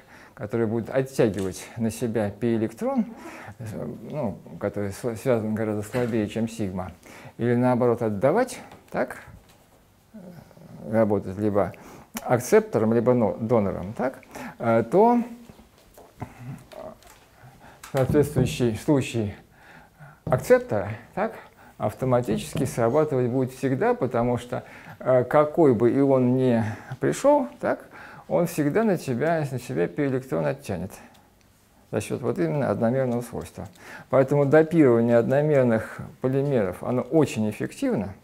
И в 80-е годы народ на ушах стоял от этого эффекта, но другое дело, что для того, чтобы его грамотно э, объяснить, нам потребуется уравнение Дирака одномерное. Поэтому давайте сейчас мы просто этот факт констатируем, а более подробно объяснение уже будет потом, когда у нас будет тема под названием Dirac Equation in Action. Уравнение Дирака в работе. Так, э, Все понятно? Замечательно. Значит, вот это место принципиально оговорюсь сразу, для двумерных ям с равно высокими стенками, равно высокими стенками, такое утверждение качественно можно предъявить, но оно не совсем честное. Так? Если здесь у нас идет честная вариационная оценка, так, то там оценка более грубая, и если здесь э, в мелкой яме уровень э, основного состояния квадратичен по потенциалу, так, Э, то там он экспоненциально мал, э, лежит совсем-совсем у верхнего края ямы, и оценка это ну, проверить все невозможно, потому что двумерных систем у нас нет, так? Если одномерные полимеры действительно есть, и действительно все эти свойства там проверяются очень хорошо, то в двумерном случае пока у нас с вами полный э, нуль по части эксперимента, поэтому лучше эту тему не поднимать раньше времени. А вот одномерная задача, она у вас совершенно чистая. Вот это все абсолютно законно. Все понятно? Прекрасно. Теперь переходим к непрерывному спектру. Значит, э, давайте нарисуем вот такой потенциал пока гладкий, с гладкими асимптотиками. Выберем э, 0 вот здесь, так, V0 вот здесь. Значит, тогда есть область ямы, так, э, тогда у нас здесь живут дискретные уровни, ну, имеется в виду дискретные уровни по энергии, по пространственной локализации, они могут находиться на существенно больше, большем масштабе. А теперь давайте займемся состоянием непрерывного спектра. Состояние непрерывного спектра у нас с вами начинаются от нуля потенциала, так, э, и идут дальше наверх, э, но здесь надо разбирать несколько режимов. Значит, первый режим E меньше нуля – это дискретный спектр.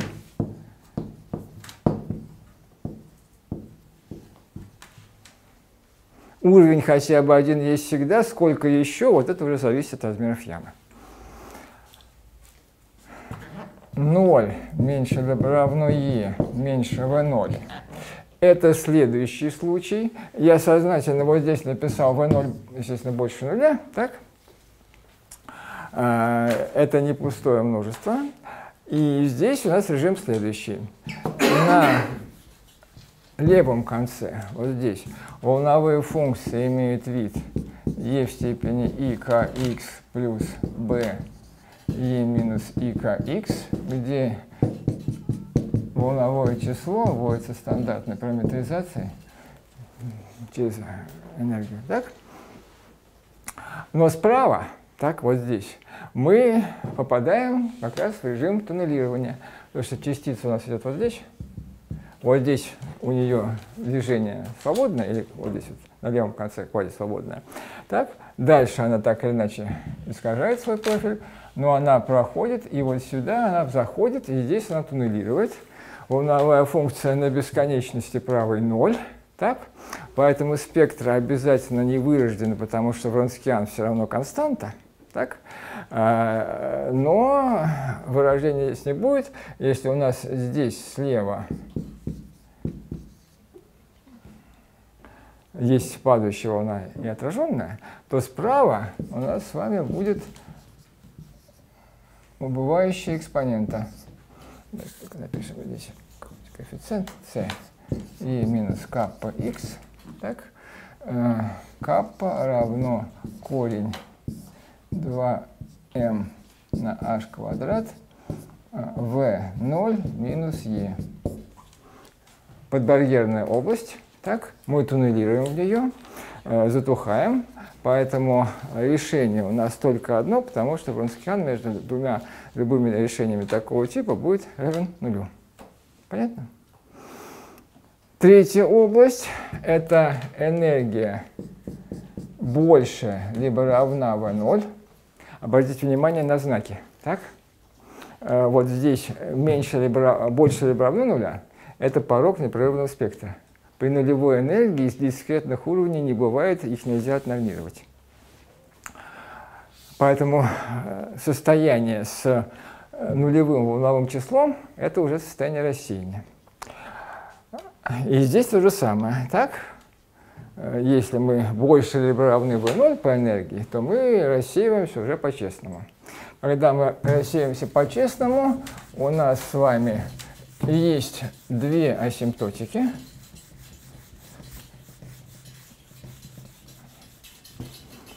Одна слева, соответствующая падающей волне и отраженной. Пси x стремится минус бесконечности, стремится к падающей волне, мы ее нормируем просто на единичку, потому что для коэффициента прохождения отражения важны э, отношения потоков, а не сами потоки. b e минус i k x. Так, си x стремится к бесконечности, частица теперь проходит над потенциалом. Так? Здесь она туннелирует. Если мы, ну давайте да, введем здесь V1, да, если у нас энергия расположена в интервале от V0 до V1, то здесь у нас режим туннельного прохождения, тем не менее он совершенно нормально отрабатывает туннельный эффект, значит, амплитуда падает, но дальше она, частица все движется. Ну а если над барьером, то у нас с вами частица проходит без туннельного промежутка, но при этом все равно отражение может быть, это вот называется то, что называется надбарьерное отражение. Коэффициент b у нас с вами даже при энергии больше, чем v1, туннеляться не будет. Но вот здесь мы с вами так должны оставить только прошедшую волну. Постановка задачи несимметрична. Это другая К будет. Да, К1. Спасибо, Миша. Так. Значит, э, энергия у нас равна h квадрат на 2m k квадрат. Так? А К1 при этом это корень 2m на h квадрат. Теперь уже e минус 0. Именно вот так мы над барьером, и мы идем с э, другим волновым числом К1. Так? Для того, чтобы нам с вами э, привязать вот эти B и C коэффициенты э, к реальным коэффициентам прохождения отражения, мы, естественно, должны с вами обратиться к потоку, который мы только что с вами ввели, потому что именно он отвечает за все процессы переноса.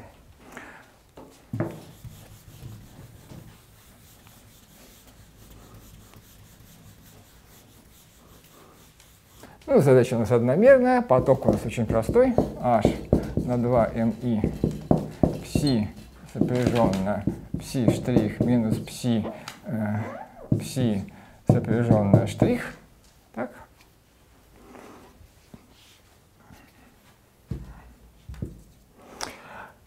На минус бесконечности пространственной. Это у нас с вами будет, э, соответственно, g x стремится к минус бесконечности. Падающая волна hk поделить km с коэффициентом 1. Так? hk km это скорость. Так? Минус э, b минус модуль b квадрат. Именно модуль, потому что коэффициент b, он совершенно не обязательно должен быть вещественным. У нас сами решения комплексные, так? И у b будет обязательно фаза, так? g x стремится к плюс бесконечности. Это у нас hk1 к m на модуль c квадрат. Понятно? Так, дальше вспоминаем те определения коэффициентов прохождения отражения или дифференциального сечения из э, механики. Это всегда есть отношение потоков, именно отношения.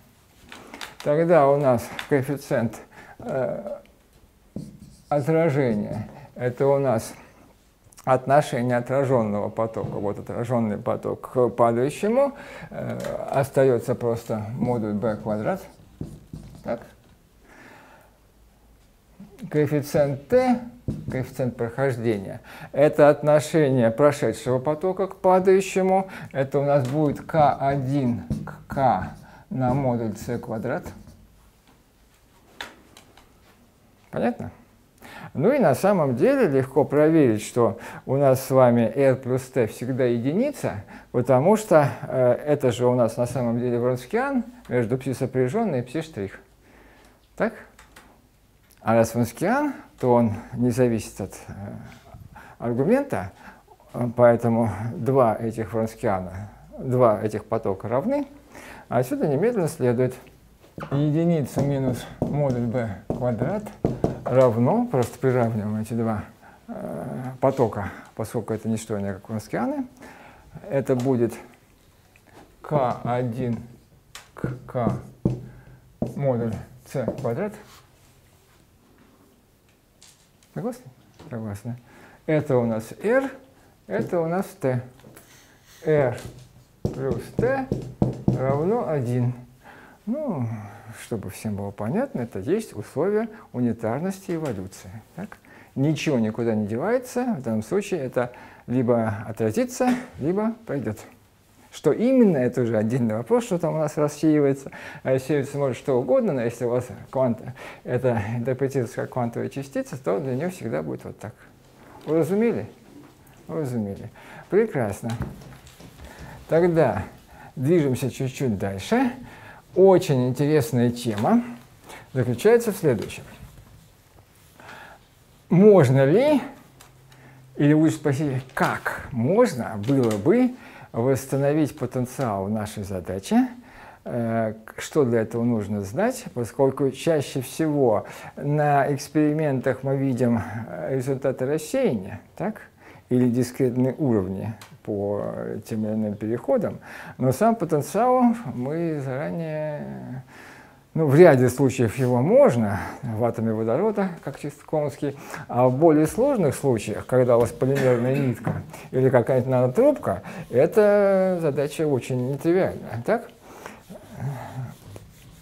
Значит, для вот таких одномерных задач имеется замечательный метод под названием обратная задача рассеяния.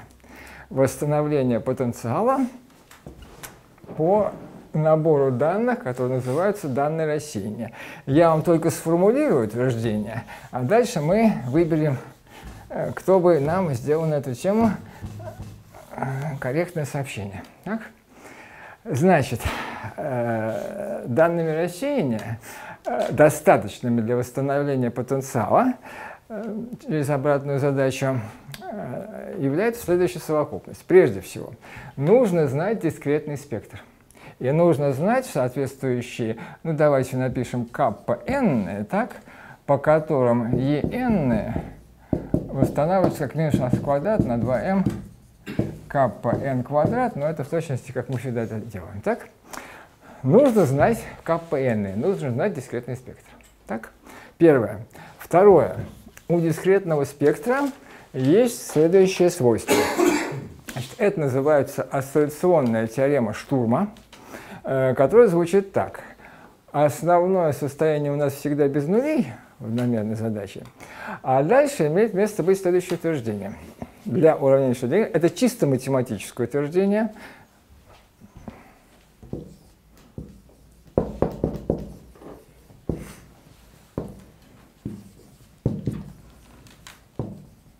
Если мы, как уже было написано, занумеруем наши уровни в порядке возрастания, начиная с нуля, так, Е0 нижний, Е1 следующий и так далее, то э, э, в соответствии с этой нумерацией каждая последующая волновая функция дискретного уровня э, об, значит, имеет нули, э, расположенными так, что нули предыдущей лежат между нулями последующие.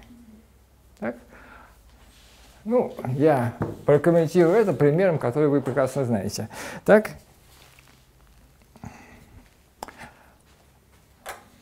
Квадратная яма одномерная, ту, что мы с вами решали. Значит, вот она. От минус А до А, так? Вот здесь 0.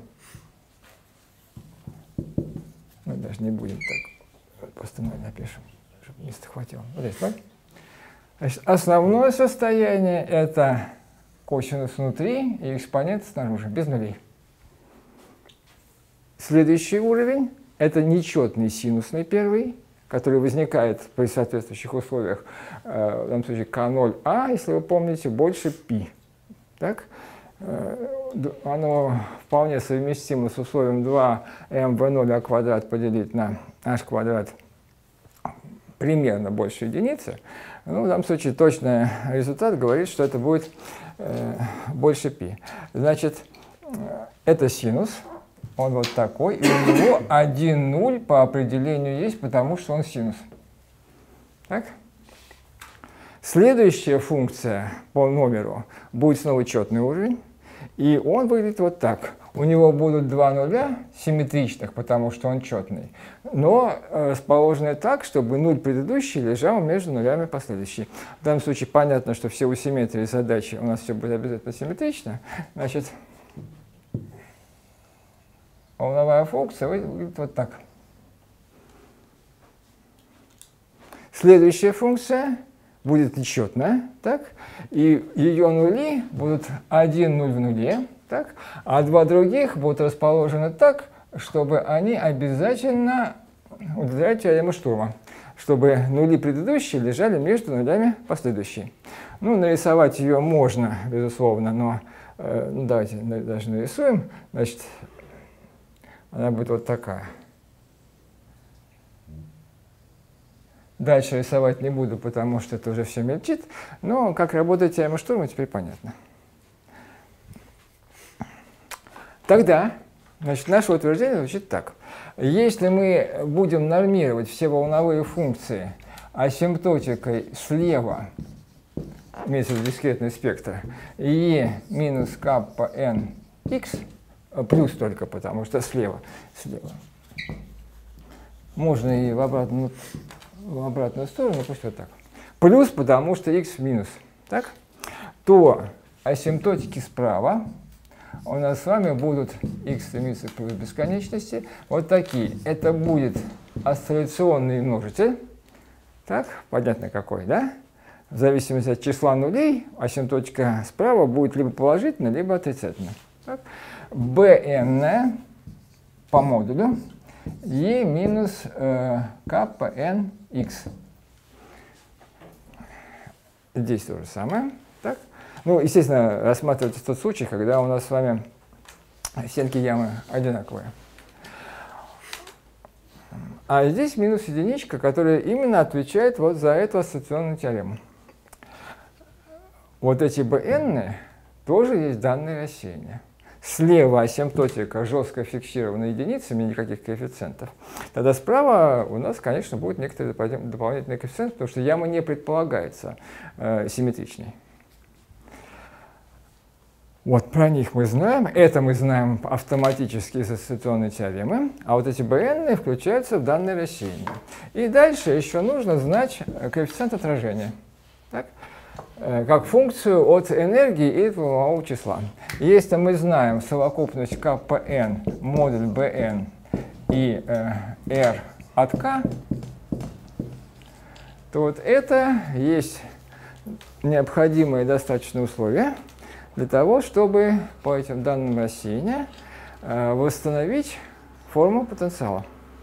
Это есть э, уравнение Гельфанда, э, Левитана, Марченко, так называемое.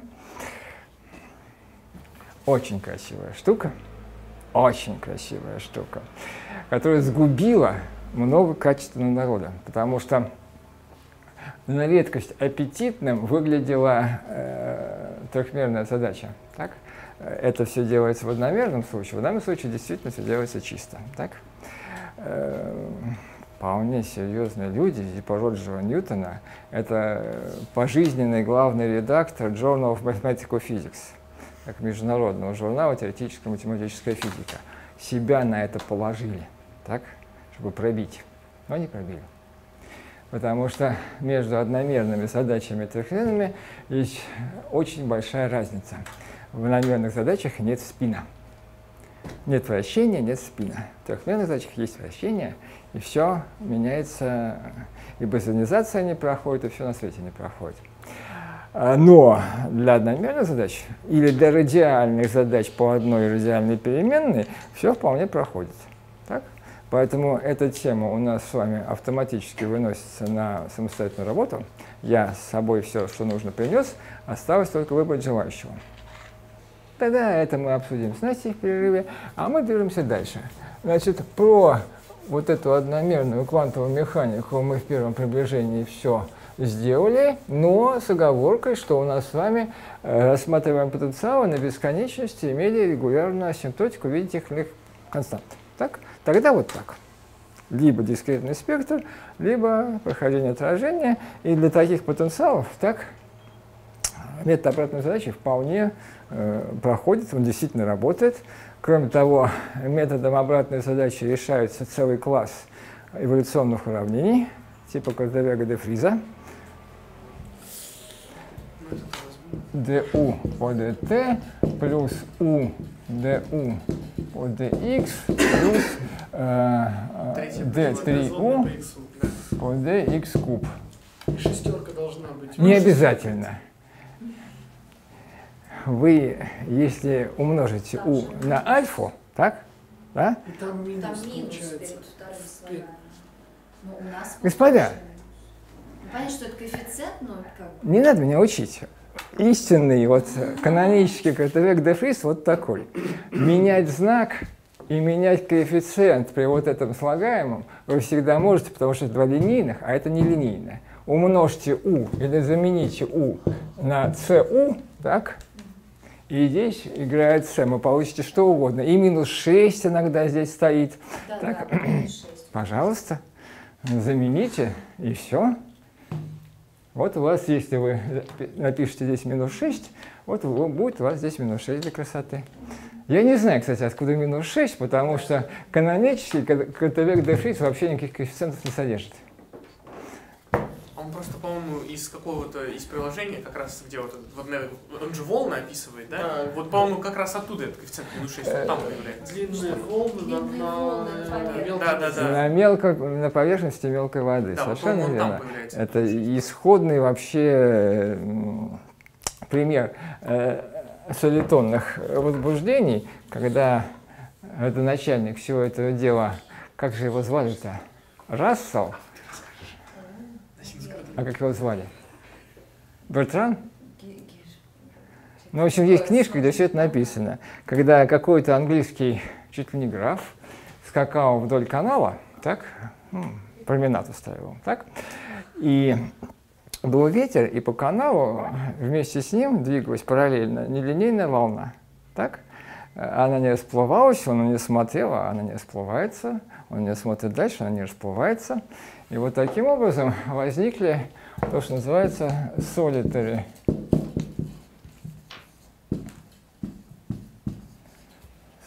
уединенные волны, солитоны, э, солитон отсюда, так, которые заняли вполне собой серьезное место э, в физике, но поскольку это все пробивается вот так, это квантовая механика во всей красе, э, то как раз эта тема нам вполне подходит.